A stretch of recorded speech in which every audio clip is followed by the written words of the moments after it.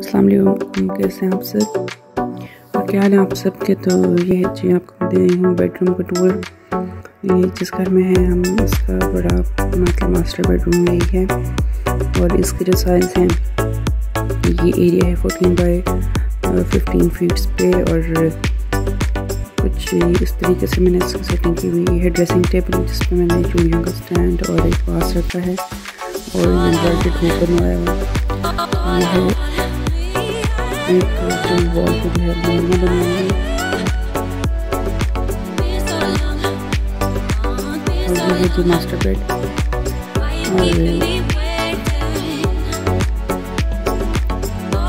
इस रूम के जो है कुछ इस तरीके से की हुई है सेटिंग हुई है बेडरूम सामने ही आप देख सकते हैं जैसे इंटर होते हैं उसके फ्रंट पे ही ये विंडो है वेंटिलेशन के लिए बाहर गैलरी की तरफ़ ओपन होती है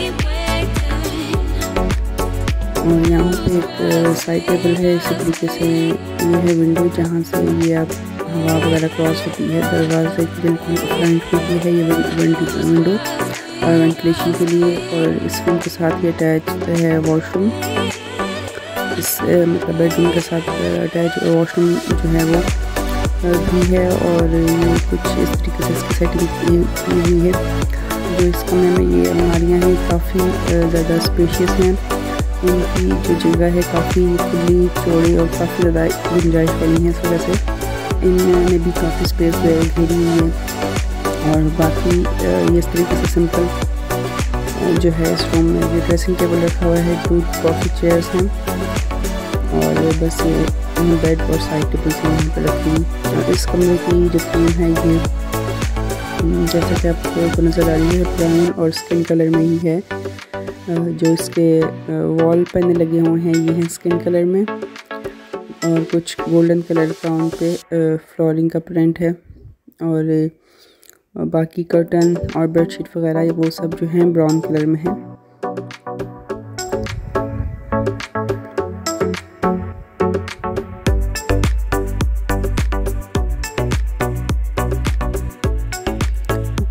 और जो यहाँ पे अलमारियाँ हैं तो, तो काफ़ी ज़्यादा उनमें जगह है। बहुत ही ज़्यादा खुली और चौड़ी है काफ़ी ज़्यादा जितना इनको कह सकते हैं कि ये तकरीबन ढाई फीट जो है इनकी चौड़ाई है। वैसे नॉर्मली दो फीट की होती हैं चौड़ी पर ये ढाई पौने तीन तक हैं चौड़ी। और इनमें बहुत ज़्यादा सामान जिस तरीके से काफ़ी चीज़ें आ जाती हैं। मतलब कि सारा सर्दियों के, गर्मियों के कपड़े वगैरह हो गए बिस्तर हैं, या जो भी चीज़ें हैं, स्टोर की मुझे बिल्कुल ज़रूरत नहीं है क्योंकि इन अलमारियों में ही सारा सामान हुआ जाता है जो कि हमने स्टोर में एक्स्ट्रा रखा हुआ होता है। ऊपर की जो है ब्लैक कलर में आपको नज़र आ रही है नीचे वाइट कलर में जो है इस तरीके से दो कलर में बनवाई हैं। और ऊपर वाली जो है, उनमें सारा मैंने बिस्तर वगैरह रखे हुए हैं एक्स्ट्रा जो होती चीज़ें वो रखी हुई हैं। और फिर भी अभी तक भी उनमें जगह है जो काफ़ी ज़्यादा जैसे हम स्टोर में जो जो चीज़ें रखते हैं, जितनी भी तो सब चीज़ें यहाँ पर आती हैं। और इसके अलावा जो नीचे की आप ड्रॉर नज़र आ रहे हैं, यहाँ पर डेली उसकी छोटी छोटी चीज़ें हैं इंस्ट्रूमेंट पड़े हुए हैं, बच्चों के डिफरेंट पेन पेंसिल इस तरह की चीज़ें स्टेशनरी पड़ी हुई है और छोटी छोटी चीज़ें जो है वो ड्रॉर में अरेंज की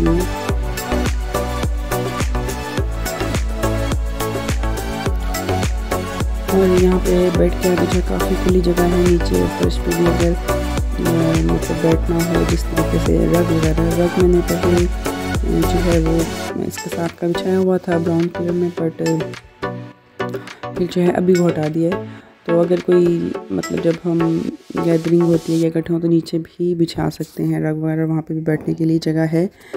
और इस रूम में ज़्यादा कोई सामान नहीं भरा हुआ।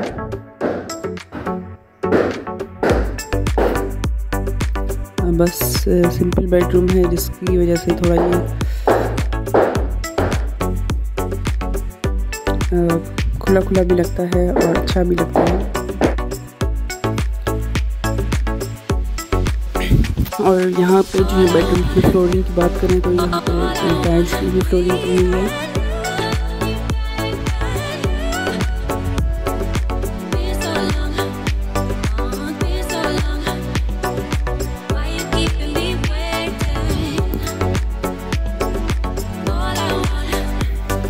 ये है बिल्कुल सिंपल सा बैठे